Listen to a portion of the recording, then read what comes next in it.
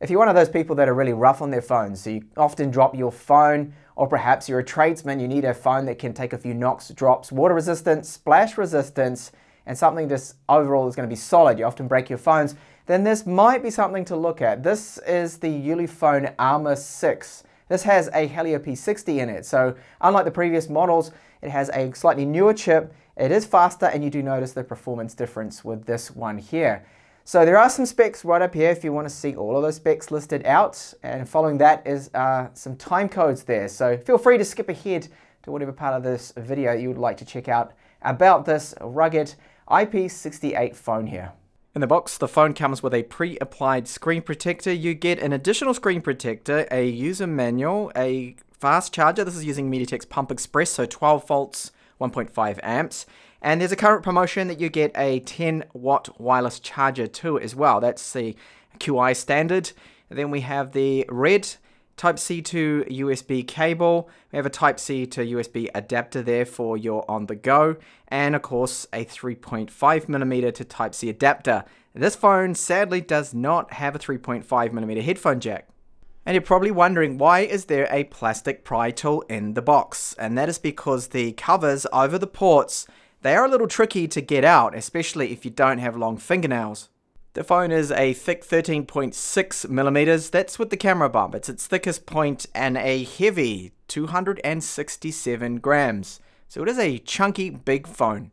The phone has a metal and rubber housing to it like other durable phones here. So this rubber housing is going to protect the screen, the corners where it will most often hit and just bounce off that. Solid rubber there. This is why the phone feels so heavy. It does feel really solid in your pocket. It's pretty big with that 13 millimeters and the weight of it too. So it feels quite chunky as mentioned. So we've got the metal on the side that does say shockproof. Um, I personally wish that it didn't actually say anything, but you know, it doesn't look too bad. That SIM tray on the left is covered with a gasket, of course. This is part of that IP68 rating that it has. Now, if you happen to break off this gasket, eventually they're going to wear out. The one on the Type-C port is going to be the most susceptible. It's both a pro and a con, I see it. So the pro, of course, it's not going to get dirt and dust in there, especially in the Type-C port, end up blocking it. But the con, of course, is that eventually it's got rubber in there, and that's going to wear out eventually and then will one day you might end up losing it. And once you lose it, then you can kiss goodbye that uh, IP68 rating. And that's of course why we do have the wireless charging on this model. So they put in that 10 watt fast wireless charging so you can use that instead of having to plug it in every day. And that's going to help and hopefully that will mean that if you try not to use this gasket, open it all the time, it'll last a lot longer and you retain that IP rating. On the right hand side, you will find another piece of metal there on the side, and then our metal volume and power buttons. So these buttons, they do have a quality feel to them. They feel very solid, and you can see there it does say waterproof on the side. And those two cameras on the rear, they can do an average portrait mode. So we've got a 21 megapixel sensor paired up with a 13, if that can be believed, because other material was saying it was 16 and 13. So I don't really know there. Now those little holes on the back, those are microphones. Along the top there is no 3.5mm headphone jack on this, so they decided to ditch it probably for that waterproofing. They just found it too hard, maybe too expensive to do that. And you can see it does say IP68 on the top. So it has an IPS screen. This one has a maximum output of only 360 lux, so it's not super bright. So if you're in a really bright environment, direct sunlight legibility is average. And yes, it does have a notch, which is housing our 13 megapixel front facing camera. There is a status LED to the right of the earpiece. Now the earpiece, I sometimes question the quality of the earpieces in these waterproof phones or ones with IP ratings. They tend to be a little bit muffled, but it's not the case here. It's only muffled when a bit of water gets into it. But when it doesn't have any water in it, it sounds good to me, very clear, in fact surprised me. Apart from that slightly disappointing maximum brightness, I feel it should be a lot more for a rugged outdoor phone. The gamma isn't too bad. It's a little off here. You can see about 2.1, 2.0. It should be 2.2. Blacks aren't super deep as you'd expect from an IPS panel. Overall, when you look at real world images, they look okay, they're fine. In fact, the screen, I feel the quality of it is actually better than the likes of the Honor View 20, the V20 that I reviewed, that mobile phone. So it has a very minimal amount of IPS bleed, and you don't really see too much of that. A little bit of a dark patches around the notch, but it's very hard to see. Nowhere near as bad, again, as that View 20 I looked at. It is covered with Gorilla Glass. Now, of course, I put that on there, but I don't know what version it is. I believe it could be 5, because that is a tougher, more uh, drop-resistant screen. The phone is powered by that octa-core Helio P60. Now, this one puts out around about 130,000 for the Antutu score. This isn't a bad score. The performance of the ROM in general I find to be good. It's reasonably fluid. We've got 6 gigabytes on, of RAM on here, which I believe is helping a little bit with that multitasking. So when you go through that, uh, you do see sometimes a little bit of slowdown. What I've noticed is sometimes the app launch time can be a little bit slow, but overall for the chipset it's got on here, I find the performance to be reasonably good. So it is an running Android. This is 8.1 that we have on here. And as you can see, it has a November security patch level, so that's getting a little bit dated. Now, there was an over-the-air update. This was bug fixes, but it didn't increase that patch level, unfortunately. Out of the box, you don't really get any bloatware with this, perhaps the game mode, the translator they put on there, and yes, it does have FM radio, but you need that Type-C to 3.5mm adapter or plug in a Type-C headphone for it to work, of course, because it acts as the antenna for the FM radio. Now, if you're a tradesman, you might want to use some of these here. Maybe not. They might not be actually that accurate. It's just using sensors after all. But there are some tools on here in the app called Toolbag. One of them which measures UV light. So you can see right here, that is our UV sensor. It's going to tell you whether we have extreme UV rating, moderate, and that'll just let you know. Now for free space, you get here, you can see over 100 gigabytes free. So that's not too bad. And the storage speeds, these are good. These are respectable. It has an eMMC 5.1 spec drive on here, so no problems with that. I've been in an outdoor kind of phone, yes, GPS does work reasonably well. It's not going to lock onto every single satellite. Accuracy will hover around the 4 meter mark. So if you're going to go hiking, tramping, mountain biking or whatever, at least it does get a quick lock and it seems to keep it, which is the main thing. 4G reception is excellent. In fact, it's even better if you can trust those bars than my Samsung Galaxy S9 Plus. This surprised me. I'm getting very good downloads through it and the reception. Call quality as well, I've made some calls and I find that is excellent. The mics seem to be alright, the mic on the bottom there, so that is good. Now our wireless speeds, they are really good. However, I have noticed that the wireless range in my testing at home is not as good as other mobile phones. And I believe the culprit is our metal body around this and all that rubber is affecting the signal strength a little bit. It's just not as good as it could be. You can see here with wireless analyzer. With other phones, I'm getting a lot better signal strength. So bear that in mind that the wireless signal isn't the greatest, the strength on this one.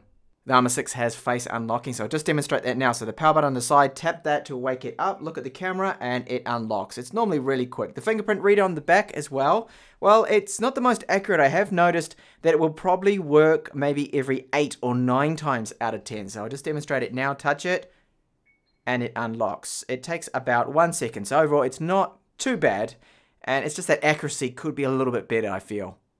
So what about the cameras? Now normally these kind of phones, the focus is not really the cameras. It has very average cameras on this, as expected, so low light is not great.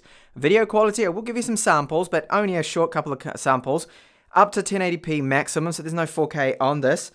And you see the uh, standard kind of MediaTek setup here with a few tweaks with the camera app. The viewfinder often does suffer from a bit of lag. So this is our video. It does not have any electronic image stabilization. The microphone quality is average and I've noticed that sometimes the focus goes off as well. So 1080p max, no 4K with this. It's not amazing quality. It is better than some of the other MediaTek phones I looked at, but you can see there that focus struggling to get a proper lock here. Now, if you do plan to record in low light, expect very poor quality. As you can see that it's not amazing. It's a little bit choppy. And with the front facing camera, if you wanted to shoot some vlogs or something like that, it's only 720p max here. So quite a low resolution. I was hoping for at least 1080p with this 8 megapixel sensor, but it's uh, not the case here. So you are able to game on this phone and the frame rate, most of the games I've been testing, is quite fluid. It's a lot better, this Helio P60, the GPU they're using, than the previous Mali GPUs they had in the older MediaTek chipsets, and you do notice that. Now, of course, some games that are really demanding ones, high graphics, you will need to alter the settings, just lower things down a little bit so you get a more playable frame rate. But overall, I think for the most part, most of these games, they're going to be running well, smooth frame rate. Now, it does generate a little bit of heat, I've noticed. So after, this is Lineage 2, after about an hour of gaming, it was getting quite warm just around this area here. That's on the normal settings. So do expect a little bit of warmth after gaming for a while. So the phone has a single loudspeaker just on the back here. That's it, right there, that little gap. I'll give you a sample of it just a second. So I mentioned before that voice calls do actually sound really good on this phone.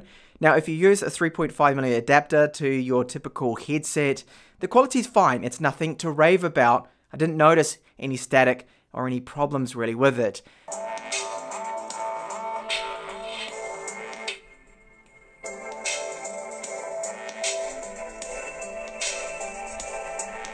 Taking a look at our battery stats now, so it is holding up well. It does have a 5000 milliamp hour battery, which is a large battery, and you can see screen on time almost 9 hours.